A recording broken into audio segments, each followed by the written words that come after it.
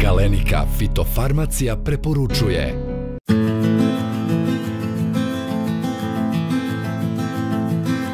Setva kukuruza polako se bliži kraju, a kukuruzi iz ranijih rokova setve, kao na ovoj parceli, nalaze se u fazi od 2 do 3 lista.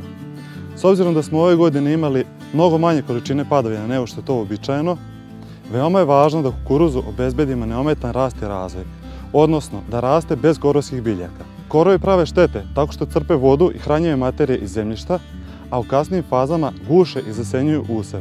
I zato je veoma važno da se izvrši adekvatno suzbijanje korova, a sve to u cilju postigazanja visokih prijenosa gajnih kultura.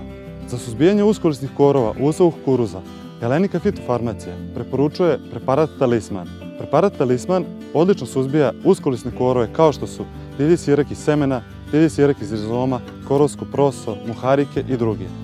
Primjenjujemo ga do šestog lista kukuruza.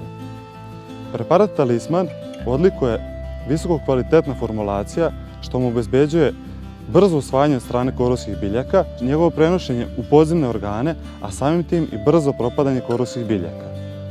Radi proširenja spektra delovanja na širokolisne korove, Galenika fitofarmacija preporučuje preparat Plamen. Preparat Plamen primjenjujemo do petog lista kukuruza i on odlično suzbija sve širokolisne korove, čak i one najtvrdokornije kao što su štir, ambrozija, pepeljuga i ostali. Preparat Plamen deluje veoma brzo tako što izaziva deformaciju biljaka i veoma brzo propadanje.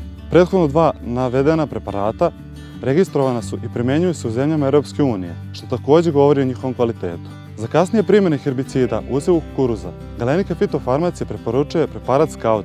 Preparat Scout odlikuje visoka selektivnost i baš ta selektivnost mu omogućava primjenu čak do osmog lista kukuruza. Preparatu Scout, ukoliko ga primjenjujemo samog, trebamo dodati i okošivač Alteox T prima. Ali, ukoliko ga primjenjujemo zajedno sa preparatom Talisman, ne trebamo dodavati okošivač jer ga talisman već sadrži. Preparat Scout, pored svog delovanja preko lista, odlikuje i odlično zemljišno delovanje. On dovodi do izbeljivanja vrhova biljaka, to belilo se polako širi i kasnije dolazi do potpunog propadanja biljaka. Kompanija Galenika fitofarmacija preporučuje da se zajedno s herbicidnim tretmanom primeni i folijarno đubrivo Foligal Super, koje biljkama obezbeđuje dodatnu ishranu mikro i makroelementima. Pored toga, poboljšava usvajanje sredstava za zaštitu bilja, a samim tim i poboljšava njihovo delovanje. U svrhu toga, naša preporuka je da se zajedno sa herbicidima primeni i Foligal Super.